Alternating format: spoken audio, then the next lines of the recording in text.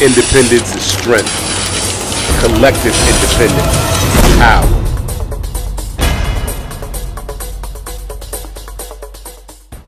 You know, hip hop is a powerful thing. But that power can be used for or against. I love hip hop.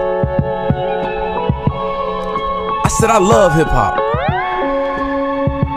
So for the love of hip hop, let me share something with you. Listen.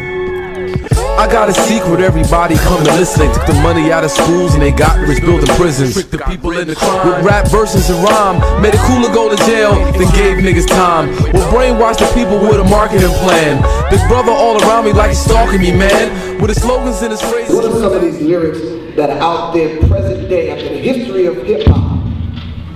Well documented. Why are we still calling women out their names? Why are we still um, relegating women to just being the half-naked chick in the video?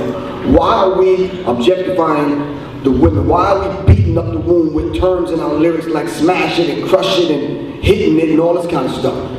You know why? I want to hear from the men and then the two sisters on the panel can just kind of bring up the rear. All right? When he said that, you know, it's in the environment and rap music perpetuates. Right. Who perpetuates rap music? Right. That's, that's the question because it's always been here. You can go back 5,000 years ago. Men have object, objectified, sexually objectified women, and women have sexually objectified themselves. There, there, there have been women-run brothels throughout history. There have been men-run brothels throughout history. It's been there, right? Right. But now all of a sudden, all we're getting is a perpetuation of this particular brand of rap lyric. Why? Because in the beginning was the Word. the Word was with God, and the Word was God. So words and vibrations shape your entire reality. And because Master knows that no nation can rise higher than its woman, as long as I keep the women at a very low base level, who's the first, first foremost primary teacher is the woman. So if I keep her blind, deaf, and dumb, I know the puppies is coming out blind, deaf, and dumb. Women are like, I'm that bad bitch, I'm this bitch. That was my next point. Well, no, but, but if I, oh, I'm sorry. If I, I'm, I'm dying to jump No, in. So, E is correct. Okay, women being objectified is not exclusive to hip hop and it's certainly not exclusive to the black community. What is exclusive, however, is the teaching of objectifying black women. Black men have been taught on a daily basis to objectify their women. Let's be clear, when the black man tried to love us, you had to hide from the social worker. Right. When the black man tried to love us, right, we had to be split up by law. Right. On paper. On paper. We were beaten and raped in front of you. In mm-hmm. addition to that, women have learned, black women have learned how to objectify themselves.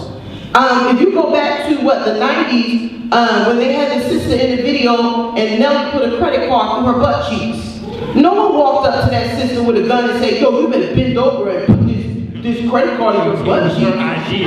Listen, listen, this is called self-hatred. What we are talking about is a mechanism, it's a system, and we're trying to focus on one element of the system, and we have to focus in on the entire system. It's self-hate. The black man hates himself, in turn he hates his woman, in turn he hates his family. The black woman hates herself, she hates her man, in turn she hates her family. In turn we hate each other, we hate our community. So when we see images of thugs with guns, we're not thinking that he's going to shoot the gun at someone other than the person that looks just like him. Right. Because it's self-hatred. So when we're talking about objectifying black women, we have to talk about objectifying the black race listen, how about, how about that sister?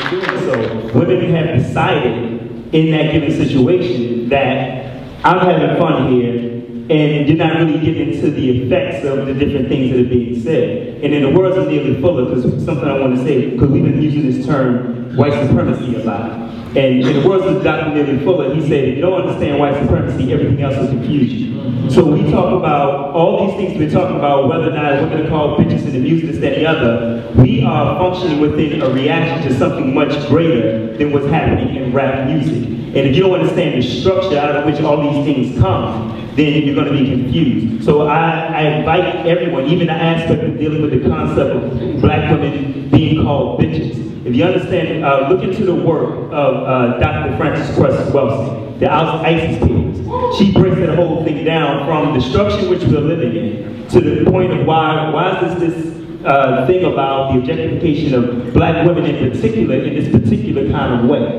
that is perpetuated in the media all the way through. There's a reason for that. It's part of the strategy of the whole thing. Dr. Neely Fuller, Dr. Frances Cress understand the structure of white supremacy.